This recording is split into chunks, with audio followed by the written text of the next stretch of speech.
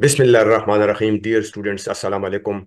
Uh, welcome to today's session where we will have a look into multiple choice questions focusing on the principles and techniques for open extraction. Uh, throughout this session, I encourage active participation from all of you. Uh, feel free to pause the video at each slide and challenge yourself by attempting to answer the questions before I provide the solutions. So let's start. First question, the background is uh, a surgeon uh, decides to use an envelope flap during an open extraction procedure. Uh, uh the question is how far should the flap be extended?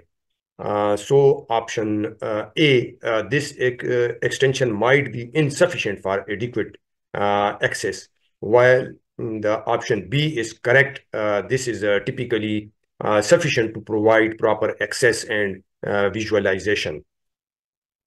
Um, in this figure, uh, you can see uh, to have sufficient uh, access to the root of the second uh, premolar and envelope flap uh, should extend anteriorly mesial to the canine and posteriorly distal to the uh, first molar.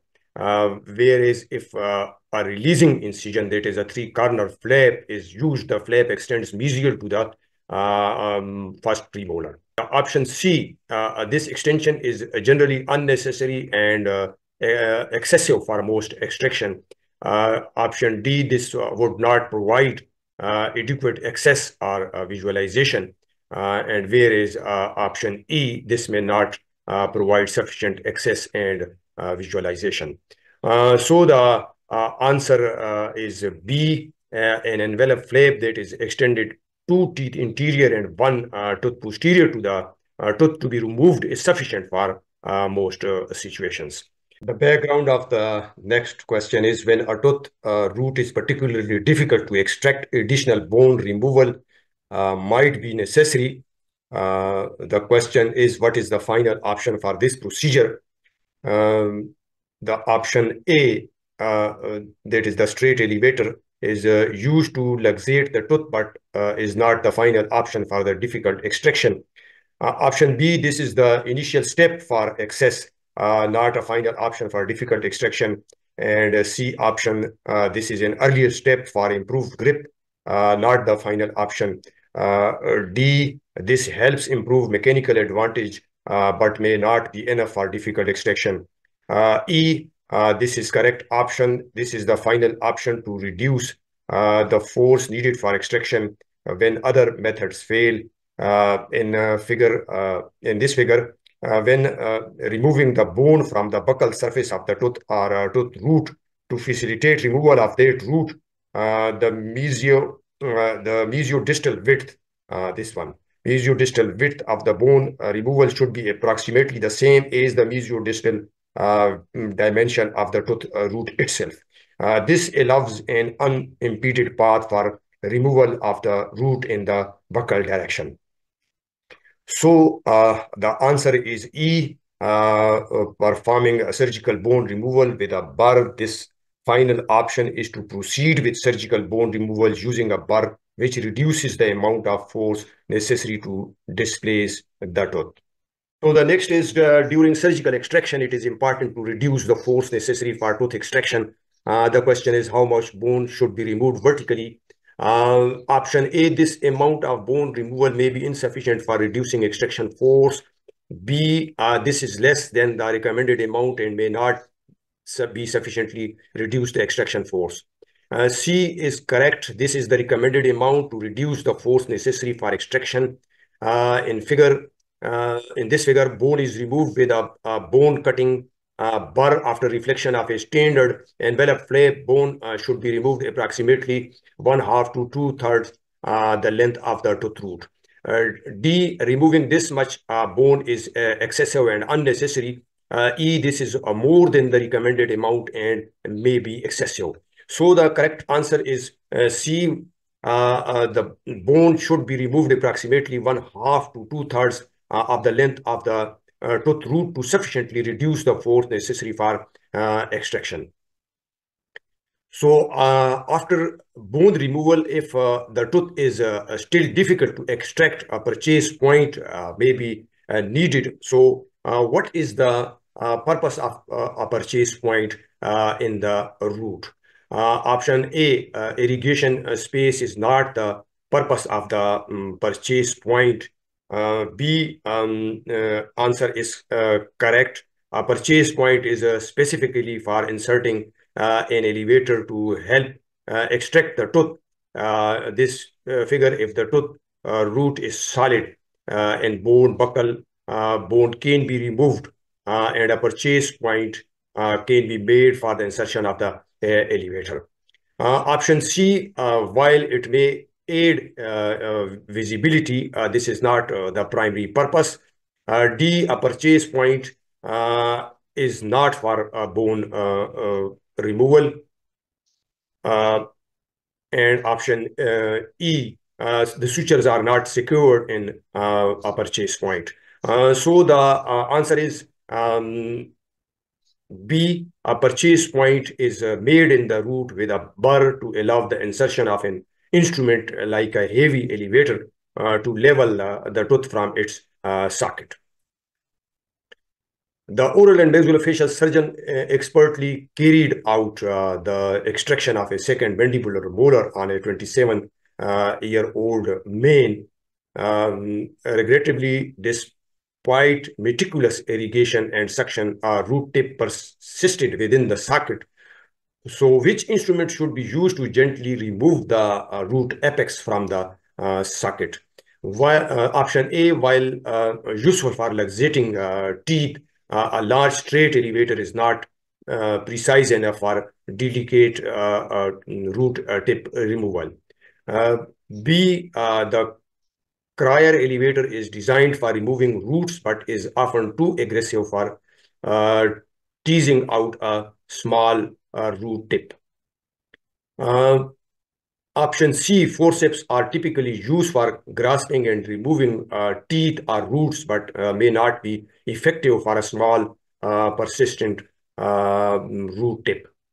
D, option is correct. Uh, a root tip pick is uh, specifically uh, designed to delicate, delicately tease out root tips without applying excessive Uh, force. Uh, in this figure, uh, you can see when a small 2 to 4 mm portion of the root is fractured from the tooth, the root tip pick can be uh, used to uh, retrieve it. Uh, the root tip pick is teased into the periodontal ligament space and is used to gently luxate the root tip from its socket. Uh, option E, uh, a burr is used for bone removal or sectioning tooth, not for the delicate uh, task of removing a root tip. So uh, the answer is uh, D. Uh, the root tip pick should be used to delicately remove the root apex from the socket, avoiding excessive force to prevent displacement or instrument damage. The oral and maxillofacial surgeon uh, opted for an open extraction uh, uh, technique for an erupted tooth in a 40-year-old patient uh, what is uh, one of the main advantages of using an open extraction technique over a closed extraction? Uh, a option uh, is uh, incorrect uh, because open extraction often require more surgical skill Uh, due to the need for uh, uh, flap reflection and bone removal. option B is correct. open extraction can cause less operative morbidity compared to a closed extraction. C is incorrect. open extraction typically typically require reflecting a soft tissue flap. D, uh, open extractions aim to minimize the removal of adjacent bone. E uh, open extraction can be quicker in uh, some cases, but this is not guaranteed for all cases. Uh, so the, the, correct answer is uh, B, the open extraction technique can cause less operative uh, morbidity compared to the closed extraction, which may result in significant bone loss and other complications. Uh, during a closed extraction procedure, the surgeon noted that the excessive force was required, resulting in the removal of a large amount of adjacent bone. What could have been done to minimize the bone loss? Um, option A is incorrect. A larger forceps could increase the risk of additional bone removal. Uh, B, a root a tip pick is uh, used for removing small root fragments, not minimizing bone loss. Uh, C is correct, reflecting a soft tissue flap and removing an appropriate amount of bone can minimize bone loss during extraction. Uh, D uh, is incorrect. While sectioning the tooth can help, it is part of the overall technique that includes flap reflection and bone removal. Uh, e, uh, the choice of elevator does not directly address the issue of minimizing bone loss.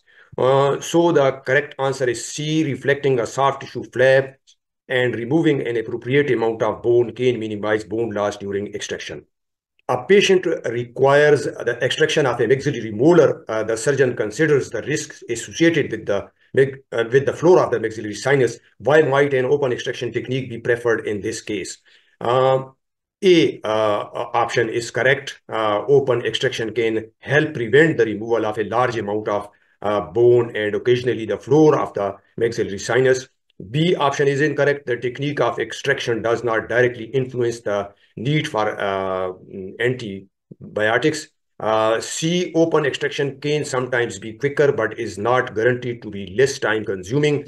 D, uh, open extraction requires soft tissues management, including flap reflection. Uh, e, teeth are often sectioned during open extraction to minimize bone removal.